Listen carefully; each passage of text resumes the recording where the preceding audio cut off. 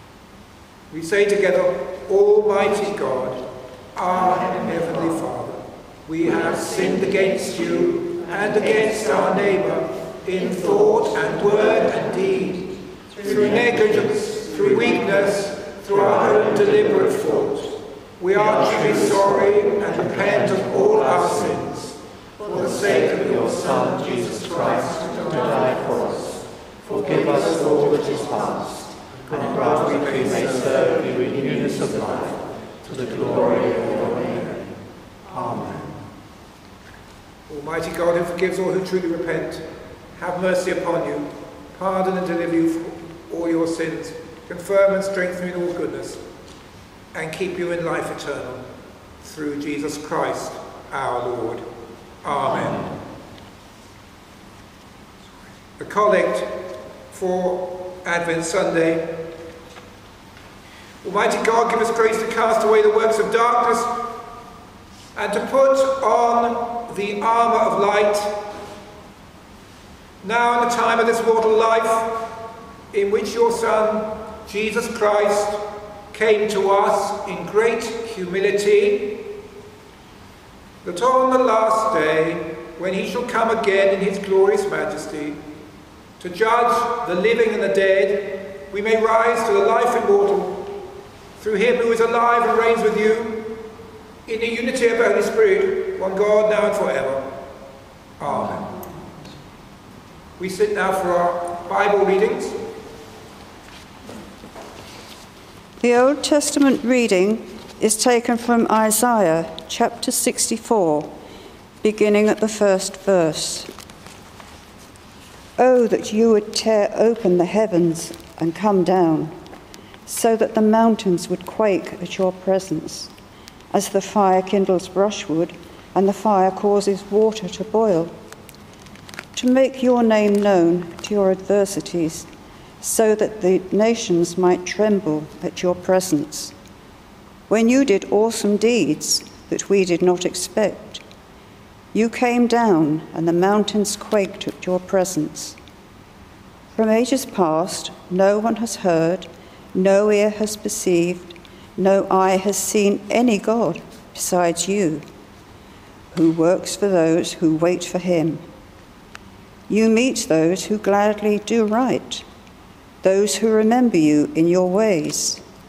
But you were angry, and we sinned. Because you hid yourself, we were transgressed. We have all become like one who is unclean. And all our righteous deeds are like a filthy cloth. We all fade like a leaf, and our iniquities, like the wind, take us away. There is no one who calls on your name or attempts to take hold of you. For you have hidden your face from us and have delivered us into the hand of our iniquity. Yet, O Lord, you are our Father. We are the clay, and you are our potter. We are all the work of your hand. Do not be exceedingly angry, O Lord and do not remember iniquity forever. Now consider, we are all your people. This is the word of the Lord. Thanks be to God.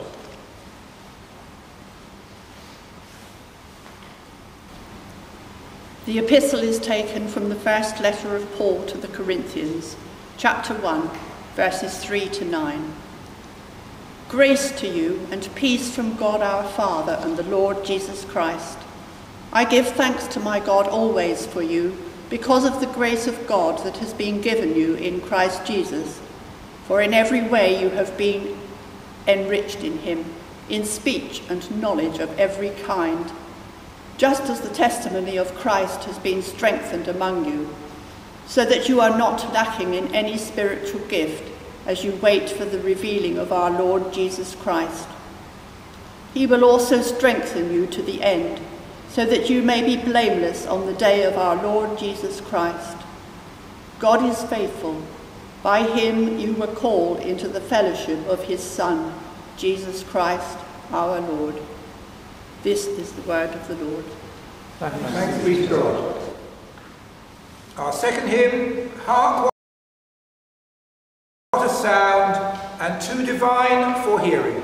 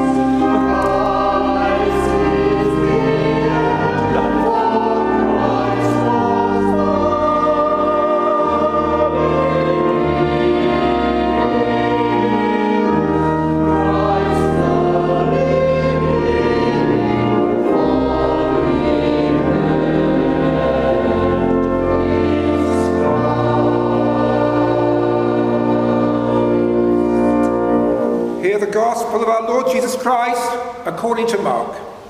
Glory to you, O Lord. Jesus said to his disciples, In those days after that suffering, the sun will be darkened, and the moon will not give its light, and the stars will be falling from heaven, and the powers in the heaven will be shaken. Then they will see the Son of Man coming in clouds with great power and glory. Then he will send out the angels and gather his elect from the four winds, from the ends of the earth to the end of heaven. From the fig tree learn its lesson. As soon as its branch becomes tender and puts forth its leaves, you know that summer is near. So also, when you see these things taking place, you know that he is near at the very gates. Truly I tell you, this generation will not pass away until these things have taken place. Heaven and earth will pass away, but my words will not pass away. But about that day no one knows, neither the angels in heaven, nor the Son, but only the Father. Beware, keep alert, for you do not know when the time will come. Because it is like a man going on a journey when he leaves home and puts his slaves in charge, each with his work, and commands the doorkeeper to be on the watch. Therefore keep awake, for you do not know when the master of the house will come, in the evening, or at midnight, or at cockcrow, or dawn, or else he may find you asleep when he comes suddenly. What I say to you, I say to you all, keep awake. This is the gospel of the Lord. Praise, to you, O Christ. May I speak and may we all hear in the name of the Father, the Son, and the Holy Spirit. Amen. Please sit down.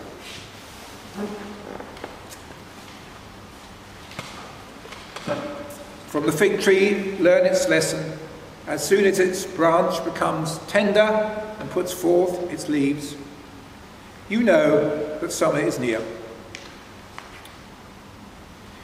This year, I find myself looking at passages from the Bible in quite a different way, as do other preachers, so it seems. The theologian Anna Carter Florence, reflecting on preaching in the pandemic, writes Was I wearing a face mask and gloves the last time I read this? How else could I have walked right by that detail and never picked it up? Today's Gospel reading is a good case in point. When I've read and preached on this passage these last 33 years, I would have said a lot, probably, about the second coming, the need to remain vigilant. Yet what now do words like summer and stay alert mean to us at the moment? For summer, we probably think of normality, with the fig leaves standing for the soon to be ready vaccines. As for stay alert, we've been used to this for many months now in relation to the threat of coronavirus. The Prime Minister has confirmed this in his own unique style by speaking of Christmas 2020 as a season to be jolly careful, while at the same time craning our ears to hear the sound of the approaching vaccine cavalry. Today is Advent Sunday. We miss an important truth if we see Advent as merely the run up to Christmas with a chocolate behind every window. Advent means coming, but the thing that's coming is so much more than Christmas. When the early Christians, remembering Jesus' words, spoke of him coming on the clouds after the stars had fallen from heaven, it would have symbolized great hope. They lived in momentous times, which must have seemed like the end of an era with the great temple in Jerusalem destroyed by the Romans in AD 70. Into its destruction comes the hope of Jesus' second coming. Some of them fixated on this to the extent of giving up normal living and day to day work. Yet what did Jesus say? Not, I will come on this day, so get ready for it. Indeed, he says, of that hour no one knows. He did say, heaven and earth will pass away, but my words will not pass away. We too live in times of great global insecurity, fear, and depression, with even the joy of Christmas greatly flattened by the regulations and fear of the virus. There is a danger that we too can write off anything of importance happening in our lives over the next few months, plan holidays, book tickets, arrange get togethers, live for the summer.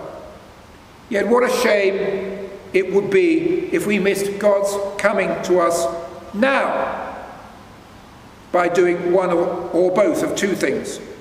First, by missing the now, missing, for example, the beautiful autumnal sunsets and other graces, which remind us of God's ever present reality with us. And secondly, by failing to hear the voices of need which surround us here and now. We must indeed keep alert alert not to the, just to the ever-present threat of the virus, which can come to us like a thief in the night, but alert to God's presence and the work he has prepared for us to do, even while waiting for life to return to normal. For life with God is never normal and never the same as it was last year, for God is always renewing our life. Heaven and earth shall pass away, said Jesus, but my words will never pass away. In the name of the Father, the Son, and the Holy Spirit, Amen.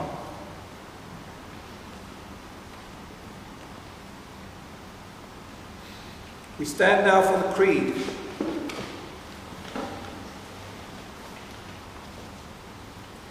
We believe in one God, the Father, the Almighty maker of heaven and earth, of all that is seen and unseen. We believe in one Lord Jesus Christ, the only Son of God, eternally begotten of the Father, God from God, light from light, true God from true God, begotten, not made, of one being with the Father. Through him all things were made. For us and for our salvation he came down from heaven was incarnate from the Holy Spirit and the Virgin Mary, and was made man. For our sake he was crucified under Pontius Pilate. He suffered death and was buried. On the third day he rose again in accordance with the Scriptures. He ascended into heaven and is seated at the right hand of the Father. He will come again in glory to judge the living and the dead, and his kingdom will have no end. We believe in the Holy Spirit, the Lord, the giver of life, who proceeds from the Father and the Son, who with the Father and the Son together worship and glorify, who has spoken through the prophets. We believe in one holy, Catholic and Apostolic Church. We acknowledge one baptism for the forgiveness of sins. We look for the resurrection of the dead and the life of the world to come. Amen. Let us pray. Come, Lord, be known in your church. For without you we have no message, we have no power. Come, fill us with your presence, that we may proclaim your peace. Lord, make us aware, alert to your coming, that we may reveal your glory in all the world. We pray for those that walk in darkness whose faith is uncertain, that they may see your light. We remember those whose lives are clouded with troubles and pray that they may behold your glory. Lord, in your mercy, Hear our prayer. Come, Lord, and give peace to your world. Disperse the clouds of war and violence, of calamity and disaster. Let your power and your glory be revealed to the nations. We pray for all those who work to relieve the physical and mental anguish caused by this present pandemic. For all those working to produce a vaccine to help us to fight it.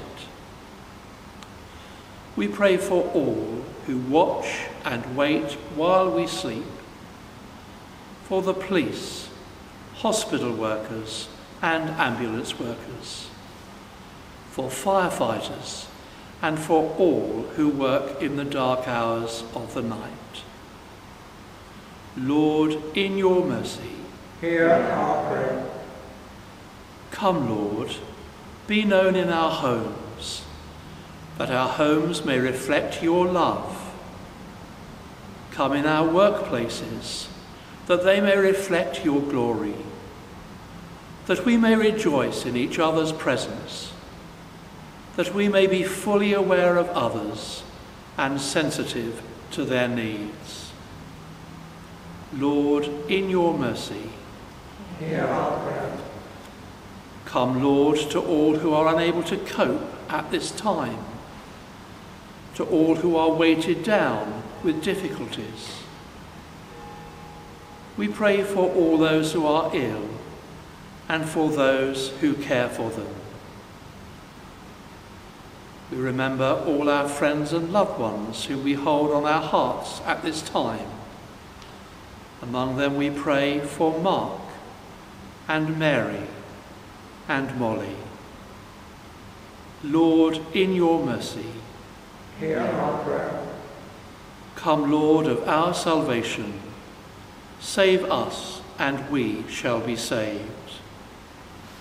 We pray for friends and loved ones departed, especially for those who have died recently and for those whose anniversary of death falls this time of year.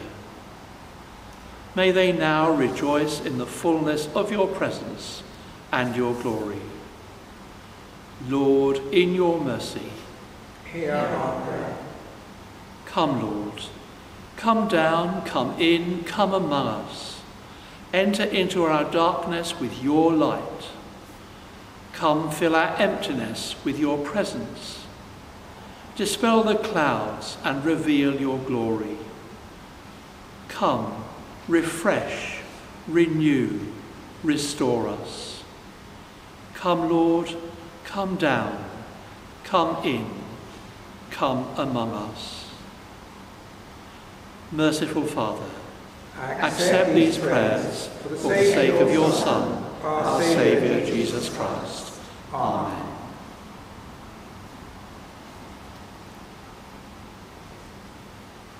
To crown all things there must be love. To bind all together and complete the whole, let the peace of Christ rule in our hearts. The peace of the Lord be always with you. And also We give thanks for these gifts of bread and wine. Yours, Lord, is the greatness, the power, the glory, the splendour and the majesty, for everything in heaven and on earth is yours. All things come from you, and of your own do we give you.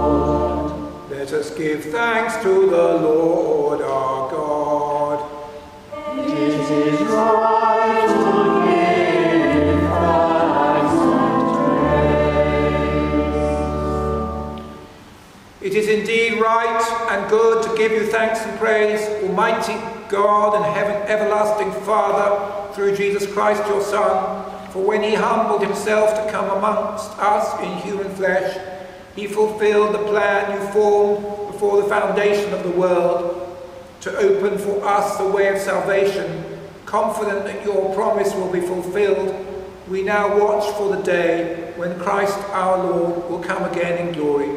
And so we join our voices with angels and archangels, with all the company of heaven, to proclaim your glory, forever praising you and singing.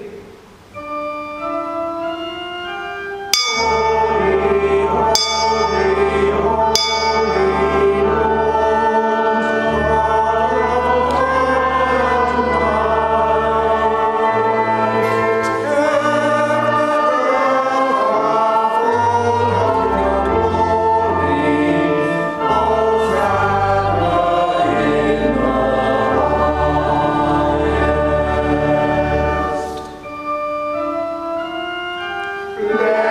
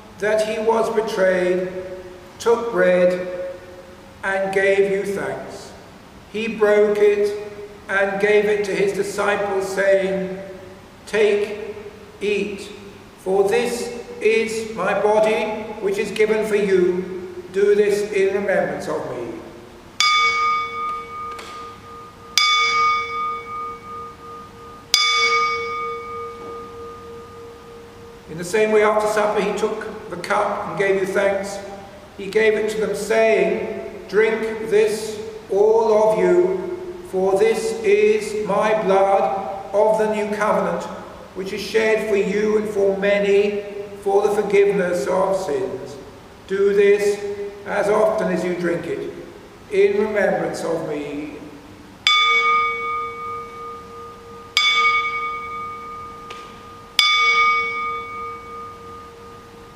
Great is the mystery of faith.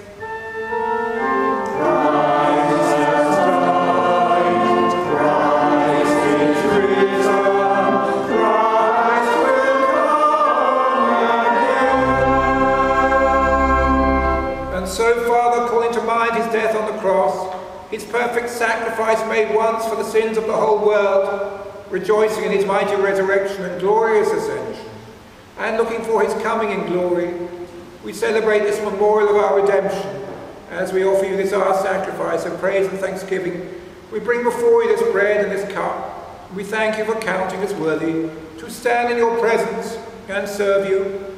Send the Holy Spirit on your people and gather into one in your kingdom all who share this one bread and one cup, so that we in the company of St. Catherine, St. Boniface and all the saints may praise and glorify you forever through Jesus Christ our Lord by whom and with whom and in whom, in the unity of the Holy Spirit, all honour and glory be yours, Almighty Father, forever and ever. Amen. Amen. Now let us pray with confidence as our Saviour has taught us. Our Father, who art in heaven, hallowed be thy name. Thy kingdom come, thy will be done, on earth as it is in heaven. Give us this day our daily bread, and forgive us our trespasses, as we forgive those who trespass against us. And lead us not into temptation, but deliver us from evil. For thine is the kingdom, the power, and the glory, forever and ever. Amen.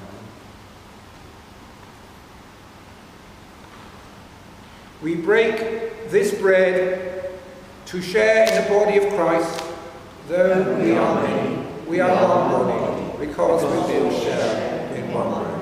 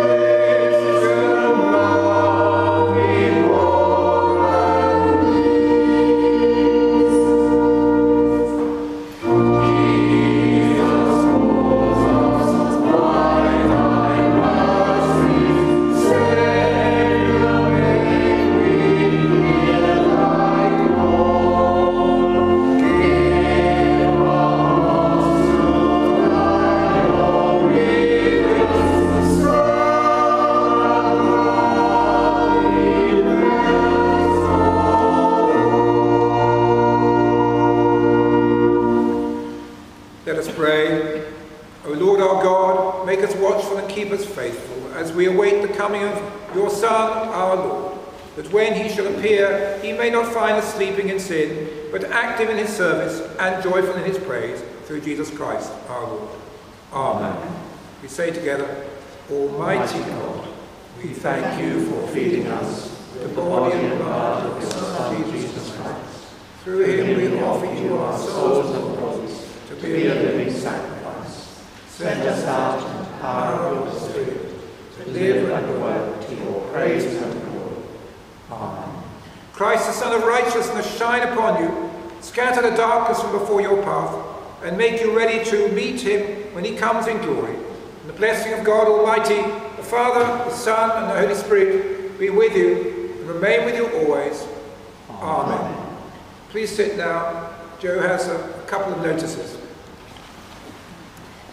To let you know the arrangements uh, for churches opening again on the 6th, the three churches will be opening for morning services that day. And in the afternoon of the 6th, at 3 o'clock, there is nine lessons and carols at St Boniface.